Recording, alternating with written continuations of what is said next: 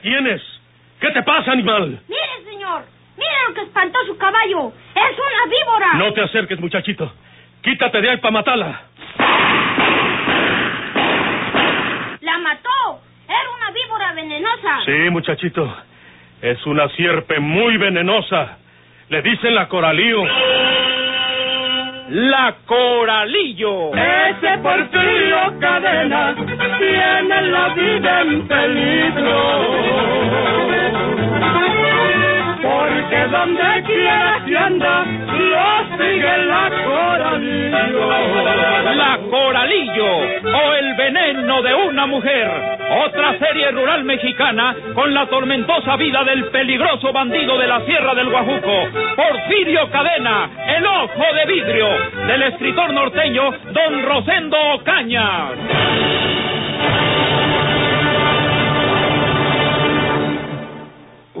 ¿Usted es Porfirio? Sí, Severo. Yo creo que tú me viste nomás una vez, cuando estuvimos hablando allá en el jacalón que está al fondo, de la cantina de Lupe. En paz descanse, ¿verdad? Sí. Estas barbas y esta peluca son postizas. Aunque no me disfrazo yo de vez en cuando. Como ahora que no quiero que me reconozca la policía. Leímos en el periódico lo que te pasó anoche. Dime quién tiró, firme. Porque ni tú puedes esforzarte mucho, ni yo estar aquí demasiado tiempo. ¿Qué pasó, Severo?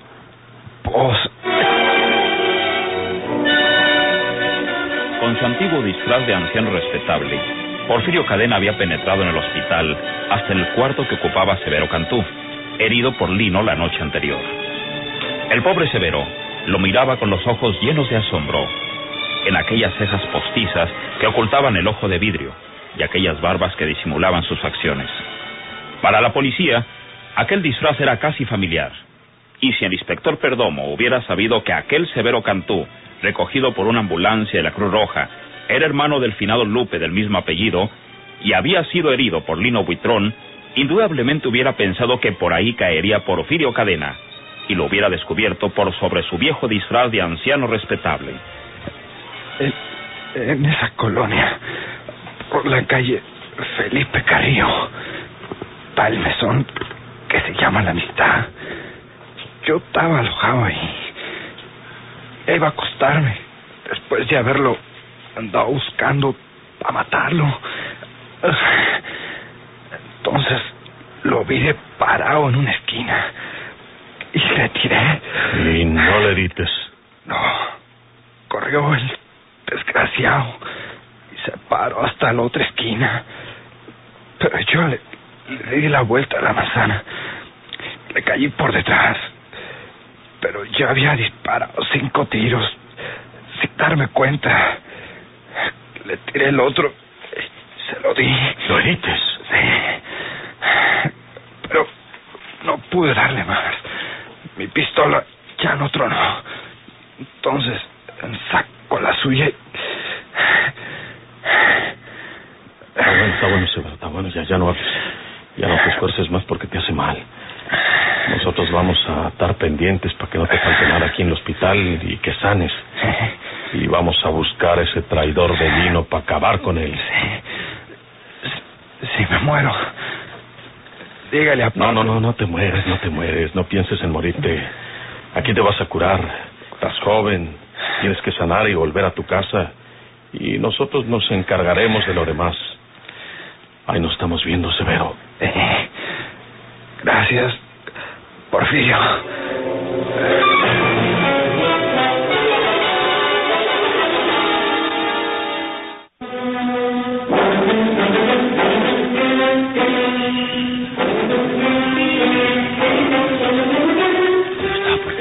Pues está mal herido, pero se me hace que se va a curar. Pudo hablar muy bien conmigo, batallando, pero está en su conocimiento.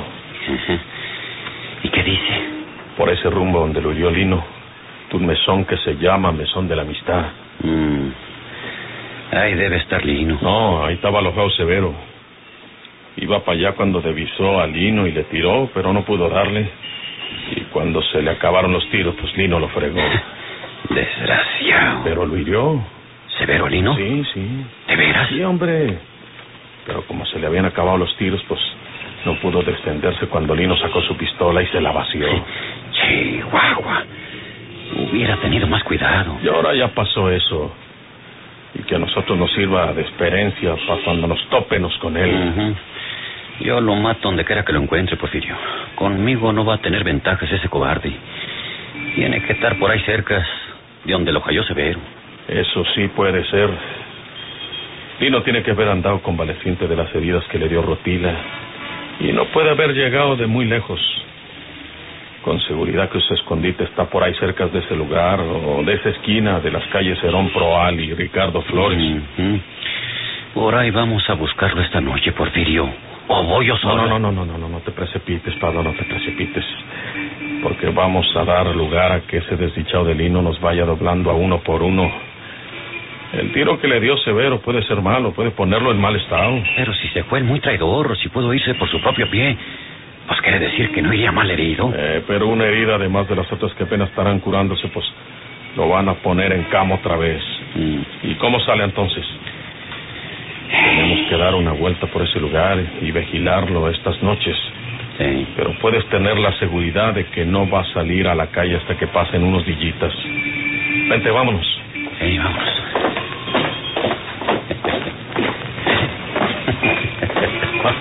¿Y ahora de qué te ríes? ¿Eh? Pues, pues quién sabe qué pareces con esas barbas. No te burles de las barbas de un venerable anciano.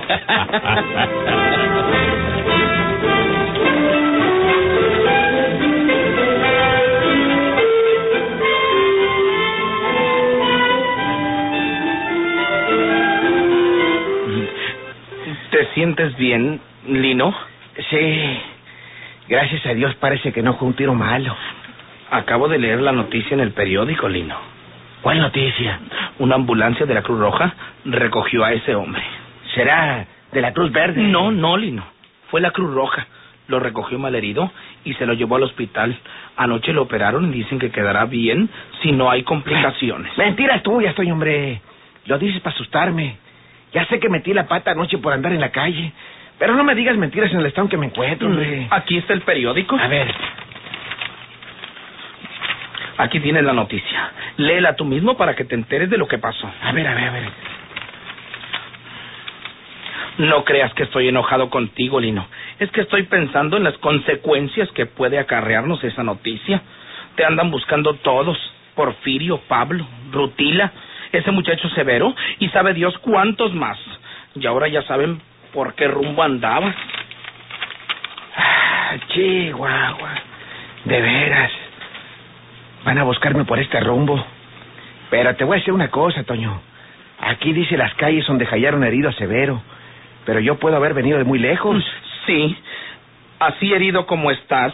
hm, Así convaleciente ibas a venir de muy lejos. No seas niño, Lino.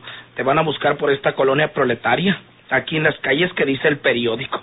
Y si vienen a llamar a esa puerta, yo no sé lo que voy a decirles ni lo que voy a hacer contigo, Lino. Eh, Toñito, tú no vas a abandonarme en esta situación, hombre. Yo y tú no somos dos desconocidos. Acuérdate cuando te llevé al río para... Mm, cállate. Mm, ¿Ya vas a salir con eso? Mm, ¿Qué voy a explicar si descubren que te he tenido aquí oculto? Toñito, hombre, el inspector de policía está de acuerdo conmigo, porque yo le andaba entregando a Porfirio. Y no te hará nada, hombre. No me refiero a lo que pueda hacerme la policía por tenerte oculto en mi casa. Hablo de mi persona, de mi decoro, de mi honra. Cuando el mundo sepa que en mi casa he tenido noche y día un hombre ocultándolo, como si fuera para mí solo. Ay, ay, Toñito, si vienen a tocar esa puerta, yo me escondo en el baño, como el otro día que vino Rutila, hombre. ¡Ándale! La más peligrosa es Rutila. Ella vino a buscarte el otro día. Ella vino sospechando que yo pudiera tenerte aquí oculto porque sabe que tú has andado detrás de mí. Y estoy seguro que volverá ahora que lea la noticia en el periódico, porque va a darse cuenta de que el lugar donde recogieron a ese muchacho herido está muy cerca de aquí. Toñito. Mm, Toñito, tú quieres arreglarlo todo con tu Toñito. Ándale, ahí la tienes. Esa debe ser Rutila. No le abras, no le abras, No le no, abras. la dejes entrar. Mm, o sí. mejor, no le abra la puerta, Toñito. Mm, sí, Déjala que toque, que toque, Sí. hasta que crea que no hay gente. Mm, sí. Toño de la Rosa, Mm, soy el coronel coronel Perdomo. Mm, es el inspector.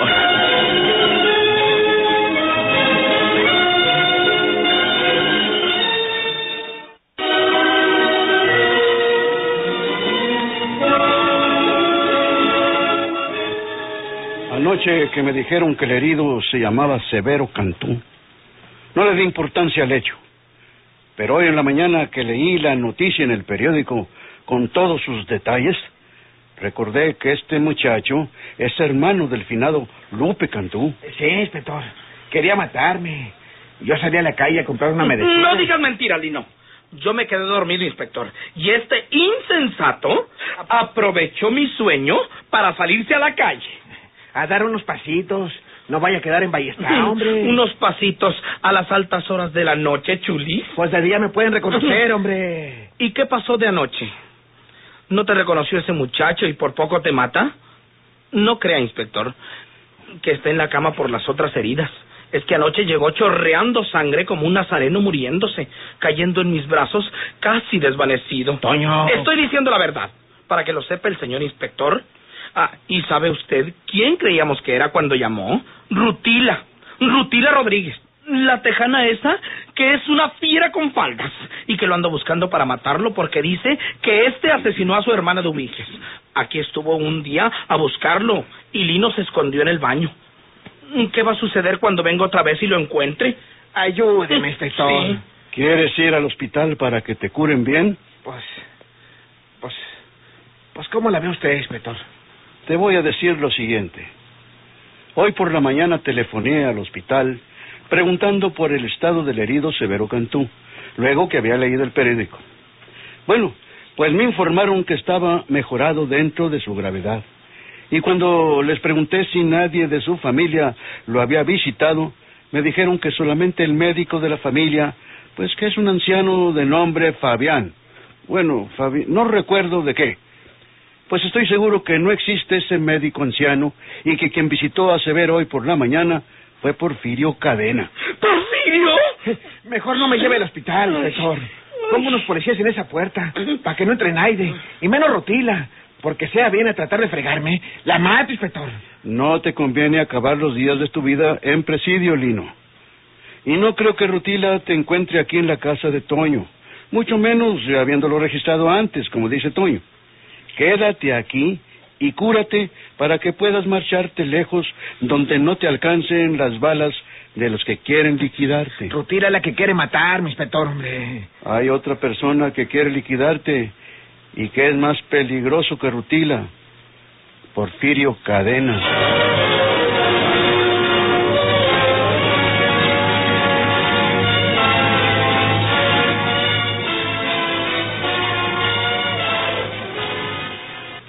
¿Cómo no me dijiste que anoche cuando te telefonó Alejandro era para decirte que la policía halló herido a Severo Cantú, el hermano del finado Lupe? Es mejor que algunas cosas no las sepas tú, Tacha, para que después no andes con chismes.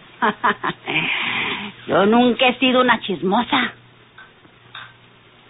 Tacha, vas a tomar vino aquí en mi casa. Deja esa botella o te la quito y te doy con él en la cabeza. Mira, Teresa, tú me has dicho que no vaya a tomar en la cantina. Yo tengo mi problema y, y tengo que echarme unos tragos cuando me acuerdo de... Por eso me truje la botella para la casa. ¿Cuál problema tienes tú, embustera? El que a ti no te importa. Y si no quieres que beba aquí en la casa, en- o sea, inmediatamente me voy a la cantina, donde el gordo no me dice nada. Salud. Estás atrasada, Tacha. Entre más vieja, más taruga, por no decirte otra cosa. Eso de tu problema no es más que un pretexto para andar tomando vino. Pero prefiero que lo hagas aquí en la casa y no andes en la cantina emborrachándote entre los hombres como si fueras una cualquiera. Yo sé darme mi lugar, manita. Y estoy vieja. No, no tengo un nombre como lo tienes tú. Pues déjame darme gusto en lo que me cuadra. Oye, oye, ¿y para qué le echas tanto al vaso, Tacha? Si, ¿Qué gano con echarle chorritos nomás? Como quiera tengo que acabarme la botella. Ese lino buitrón, mi abuela, es una cuerda muy encera. ¿Y qué tienes que ver tú con ese desgraciado? ¿No? O yo no. Eh, Salud. Oye, oye, oye, oye, no te lo tragues todo, mujer. M- Mira, Teresa, yo no tengo que ver nada con Lino Buitrón. Ah, el otro día me emborraché con él. Pero pues fue de casualidad. Yo no hago ronda con pericos mm, porque, eh, bueno, tú sabes lo demás. Ridícula que te pones con tanto trago. Yo no tengo que ver nada con él. Pero mm, mientras que Porfirio y Pablo Garza Reyes lo andan buscando para matarlo, y no le mete de balazos a otro de sus compañeros. Eh, es mejor que te calles la boca. y casi en sus narices, como burlándose de ellos. Y la verdad, Teresa, que Porfirio ya no es el perdonavidas de aquellos tiempos. Mira, Tacha, si no dejas esa botella y te vas a acostar, me levanto y voy y te la quebro para que ya no estés fregando. No estás hablando tú, está hablando el vino que te has tragado. ¿Oíste? Yo me acabo la botella aquí, si quieres. Y si no, me la voy a tomar a la cantina. Mira, mira, pues ni te la acabas aquí, ni te la vas a tomar en la cantina, porque te la voy a quitar y te vas a dormir la mona. Teresa, Es inútil que te la escondas por detrás, porque te la voy a quitar. no, no lo hagas, Teresa. Porque es mi gusto y a ti te importa pura fregada. ¡Dámela, dámela! Si no quieres que te la quite a la fuerza, Tacha. Porque ahorita te doy un aventón y vas a ver de paletas. ¡Dámela! No te doy nada. ¡Ya paga! Ya no me estés fregando. Al cabo me tengo que ir de esta casa. Porque ya no tengo nada que hacer aquí. Y ya no quiero nada tampoco con la policía. Ni con el viejo inspector. Porque me manda chirona. ¿Qué estás diciendo, Tacha? No estoy diciendo nada. Para que te lo sepas de una vez. Yo. Yo fui la que denuncié a Porfirio la otra noche. ¡No estés echando mentiras, Tacha! No estoy echando mentiras. ¡Ah! El inspector quiere mandarme a la penitenciaria. Porque dice que yo maté a la vieja que era de la casa de huéspedes, la de la sombría. Bueno, pues hicimos un trato. Él no me encerraba y yo le entregaba a Porfirio. ¡No me Tacha! Es la pura verdad. Yo estaba escondida en el baño cuando te telefonó Porfirio. Me gritates, me llamates, pero yo no quise contestarte. Y oí cuando dijiste que estaban en ese tejabán de la colonia popular. Luego hice como que venía de la calle. Y te dije que había salido a mercar unos cigarros. ¡Ay! ¿Por qué me pegas? Y me preguntas por qué te pego. ¡Por esto! ¡Ay! Mira, vuélveme a pegar para romperte la botella en la cabeza. Vuélveme a pegar para que lo mires. Vete, Tacha, vete para tu cuarto y enciérrate ahí. Para que se te pase la borrachera y me digas que todo lo que me has dicho es el producto de tu borrachera. Vete a tu cuarto y déjame pensar lo que tengo que hacer. ¡Lárgate! ¿Le dijo algo Teresa? No he hablado con ella. He tenido miedo para darme por su alojamiento, porque puede caer la policía. Pues yo le dije a ella anoche que si usted se comunicaba para allá, que le dijera que tenía urgencia de hablarle. Ya se lo dije la otra noche. Voy a casarme con Lucila. Y ya te dije que hicieras lo que quisieras, mijo. Ya te dije que que no me gusta que te cases con la hija del hombre que me ha perseguido toda mi vida. Pero si encina tú lo que eres, pues ni modo, ya te lo dije. Pero es que el inspector quiere que usted vaya a pedirle la mano de Lucila para mí. ¿Qué? ¿Y no te das cuenta de que lo que quiere es ponerme una trampa? No, no se trata de eso, señor. Pero si tiene miedo... Porfirio Cadena no le tiene miedo a Naiden.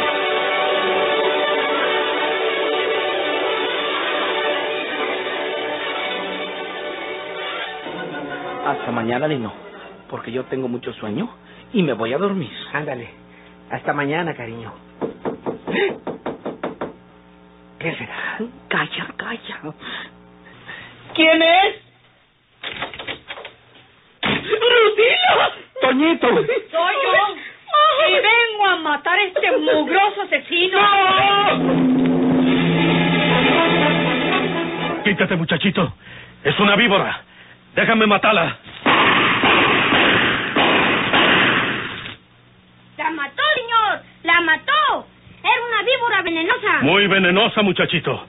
Le dicen la coralío. Vuela, vuela, palomita, y anda a decirle a Porfirio que por donde quiera que anda, lo sigue la coralillo.